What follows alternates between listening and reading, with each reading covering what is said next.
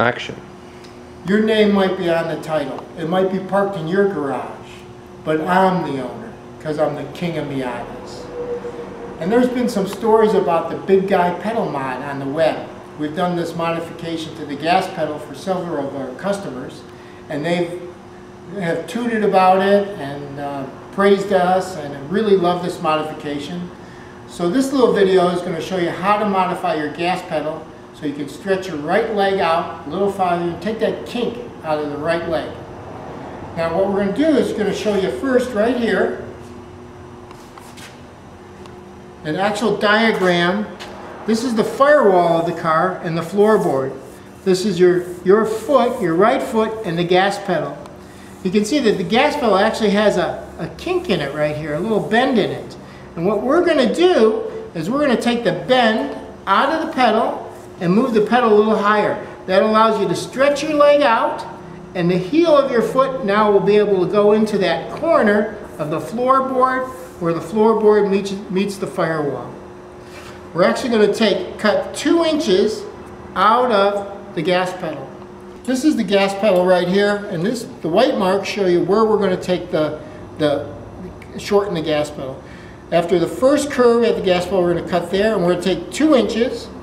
We're going to take two inches actually out of the gas pedal.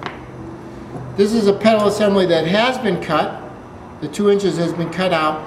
When we put them together, we're actually going to bring it together, and the gas pedal is going to touch the rod right here. So we're going to weld here, and actually where the pedal face meets the rod.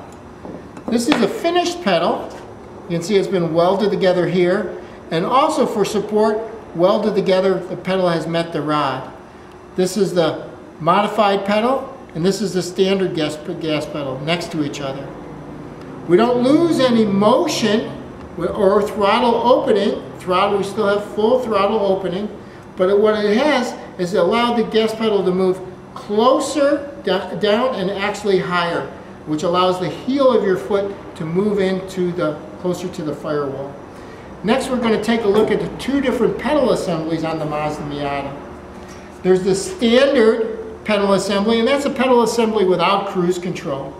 And here's the gas pedal.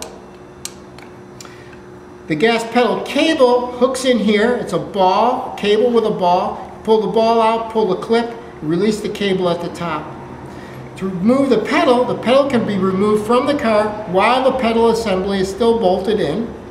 And on the standard pedal assembly, it's actually a circlip. Right here we can see a circlip. To remove the circlip, you're going to use a screwdriver and pry the circlip out. Once you pry the circlip out, you can remove the spring and remove the pedal assembly. This is a pedal assembly with cruise control. The cruise control servo cable actually comes here and attaches here. And it, when the cruise control works, it actually pulls the gas pedal. So that's why you feel the gas pedal being pulled when you have it in cruise control. Going up a hill, you can feel the gas pedal moving. And that's the servo on this lever right here. So this one's a little more complex, and it actually uses a different clip. It uses a clip of this kind, a round clip, a star washer that actually attaches to it.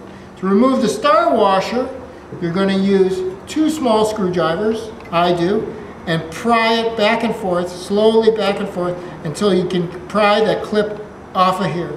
Once you remove the clip from the, the shaft of the gas pedal, you can pull the pedal assembly out.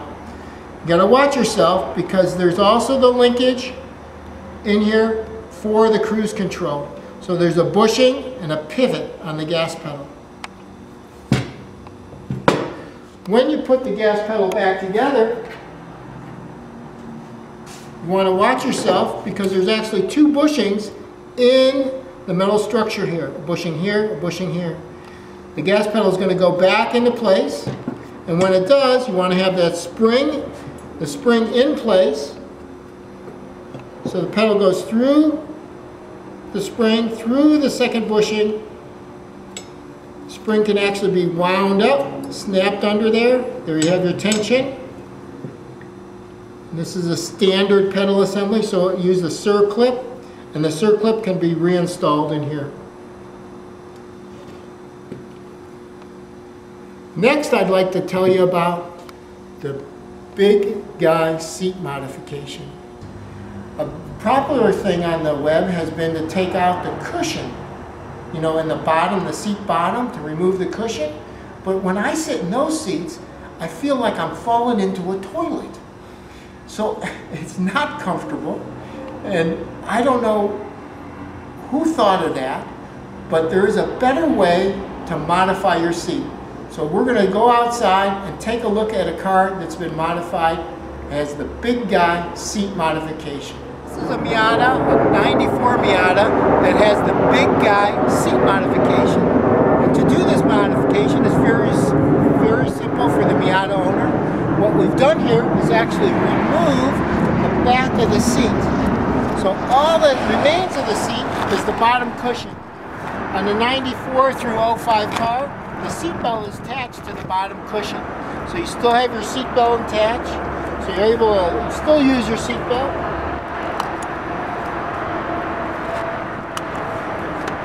The seat bottom actually moves back and forth for adjustment. Once you find out where you like to be, you can actually create a cushion and put a cushion in here and snap it to your boot snaps. And that cushion will allow you to move your, your body as forward, as much farther forward as you want to be.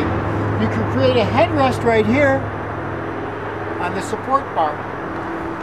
Now I'm a six foot guy, so let me sit in this seat and show you how far back you can actually move yourself. Put this seat all the way back.